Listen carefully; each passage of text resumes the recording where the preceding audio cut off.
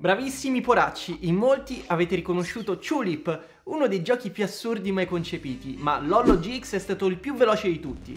Mentre Kohaku Gaming, cogliendo appieno il cuore del gameplay del titolo di Kimura, ha riconosciuto il grandissimo classico del rimorchio digitale, Tinder 64, presto anche sull'NSO. Va bene, andiamo avanti. Di che gioco si tratta? Sono risposte sbagliate, mi raccomando, sorprendetemi.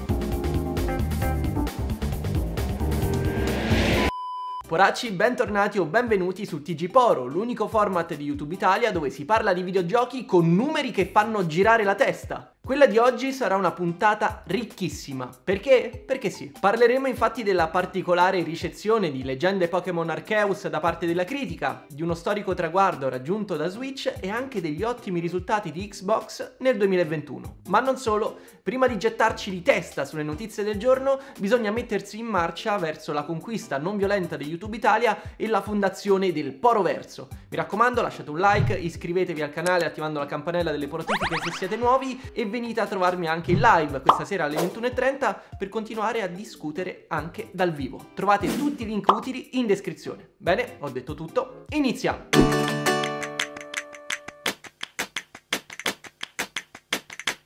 Partiamo con qualche notizia al volo. Un po' a sorpresa, Crytek ha annunciato il ritorno di una storica serie. Crysis 4 è entrato ufficialmente in sviluppo. L'annuncio in fondo non era così imprevedibile, visto che con la recente riedizione della trilogia originale era ovvio che qualcosa si stesse muovendo in casa Crytek. Sebbene il reveal sia stato accolto con grande entusiasmo dalla fanbase, è la stessa azienda a mettere le mani avanti, affermando che il gioco è praticamente nelle fasi iniziali di produzione e passerà parecchio tempo prima di poter vedere qualcosa di concreto per Crisis 4. Quindi per ora accontentiamoci di questo teaser, sperando che non faccia la fine di un altro attesissimo quarto capitolo che stiamo aspettando ormai da anni. Ora però possiamo farci la domanda delle domande. Girerà su Switch? C'è un piccolo aggiornamento per quanto riguarda Call of Duty e una potenziale esclusività su Xbox. Sappiamo infatti che Phil Spencer si è impegnato su Twitter nell'onorare gli obblighi contrattuali tra Sony e Activision stipulati prima della storica acquisizione e ora, grazie a una fonte anonima riportata da Bloomberg, abbiamo un'idea più chiara sull'entità di questi accordi legali.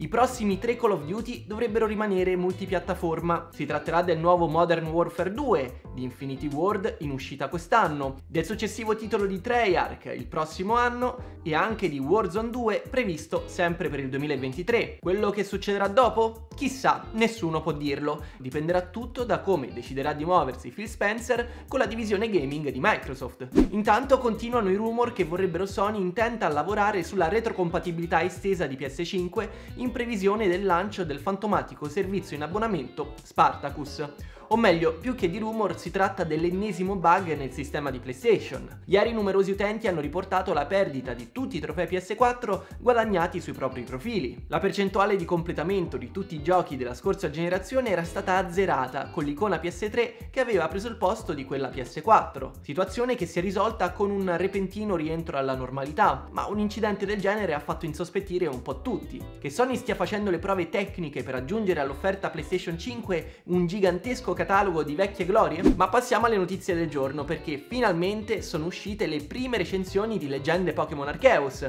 più o meno dopo che tutto il mondo ha già giocato al titolo. Un gioco che promette di dare una svecchiata significativa al brand di Pokémon. I pareri sono tutti estremamente positivi e in molti si sono lanciati in dichiarazioni parecchio altisonanti. Video Game Chronicles, così come Nintendo Life, parlano senza mezzi termini di uno dei più grandi giochi Pokémon di sempre. Il primo affibbia un bel perfect score all'operazione, mentre Nintendo Life un 9 su 10 come valutazione finale. Per rimanere nei confini nazionali, Saidonia ha promosso Arceus su Every Eye, definendola sostanzialmente un'operazione coraggiosa, sebbene non esente da difetti, e più o meno tutti quanti sono allineati su questo giudizio. Leggende Pokémon è quella ventata d'aria fresca che i fan della serie aspettavano da più di un decennio, in grado di stravolgere e superare tante delle convenzioni sedimentate nella serie che colpa passare degli anni da tratti distintivi si erano tramutate in limiti anacronistici. Con un'ossatura di gameplay sostanzialmente inedita,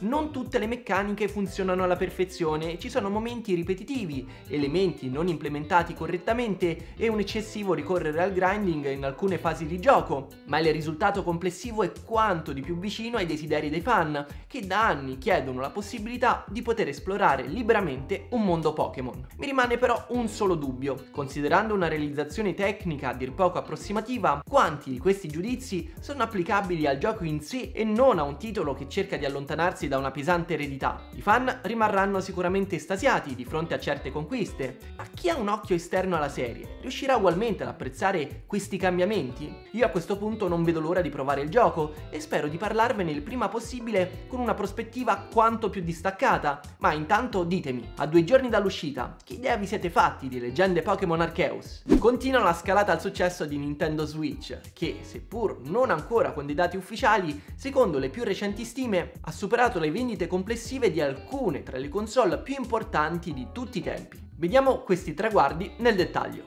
Prima di tutto però una doverosa premessa. I report ufficiali di Nintendo che usciranno durante la prima settimana di febbraio prenderanno in esame il terzo quarto dell'anno fiscale in corso, il che significa che si fermeranno al mese di dicembre 2021. Per avere un quadro complessivo più dettagliato bisognerà aspettare la fine dell'anno fiscale, perché le stime di VGCharts.com, a cui ci riferiremo adesso, includono anche le vendite delle prime due settimane di gennaio. Per il portale, abbastanza attendibile, attendibile nelle sue previsioni, il totale di Switch vendute ha raggiunto i 102,81 milioni di unità, un traguardo che farebbe superare alla console ibrida sia i 100 milioni di Wii sia il totale di PS1 vendute, numero fermo ai 102,5 milioni totali. Questo farebbe della Switch la quinta console più venduta di tutti i tempi, con dei risultati equamente distribuiti nei tre mercati principali, con 34,67 milioni di unità negli Stati Uniti, 27,22 in Europa e 23,43 1,43 in Giappone. La vera sfida sarà però un'altra. Riuscirà Switch a battere PS4 e poi il Game Boy? La penultima console Sony ha raggiunto le 116,56 milioni di unità vendute, ma a conti fatti la console è ancora in commercio,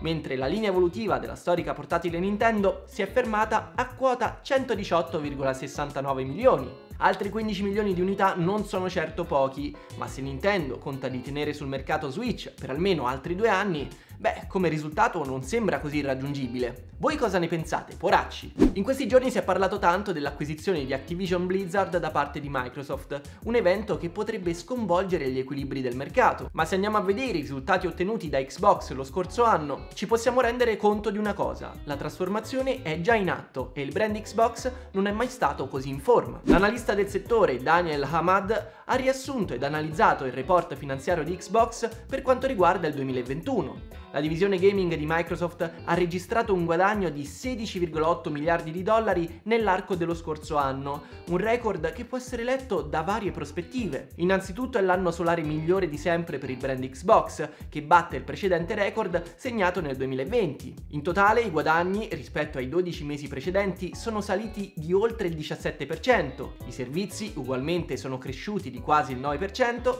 grazie al successo del Game Pass e degli ottimi risultati dei titoli first party e i guadagni derivati dalla vendita dell'hardware sono schizzati in alto del 63,3%, cifra che indica approssimativamente 12 milioni di console vendute nell'arco di 12 mesi. Un cambio di paradigma incredibile se si pensa a come il brand Xbox aveva rischiato di morire con la pessima gestione dei primi anni di Xbox One. C'è da dire però che Phil Spencer non ne sbaglia una, dall'intuizione nel proporre un modello economico di next gen che ha fatto diventare le due nuove Xbox quelle che hanno venduto più velocemente nella storia della console, passando per l'aver sapientemente puntato sull'imbattibile offerta del Game Pass, fino ai corposi investimenti nei titoli first party, e qui anche Halo Infinite è l'episodio della serie con il miglior debutto in assoluto, è difficile pensare anche a un solo passo falso fatto negli ultimi anni. E tutto questo senza tenere in conto la mastodontica acquisizione di Activision Blizzard King, con dei dati del genere, che futuro vi immaginate per il brand di Xbox? E questo poracci era tutto per oggi, vi ringrazio per essere arrivati fino in fondo e vi aspetto qua sotto nei commenti per discutere assieme delle notizie del giorno, oppure stasera in live alle 21.30 per continuare questa edizione del TG Poro dal vivo. In ogni caso vi do appuntamento a domani per un nuovo video, voi mi raccomando, fate i bravi, riposatevi, ma soprattutto nerdate duro. Io sono Poromon, Michele Ercheus,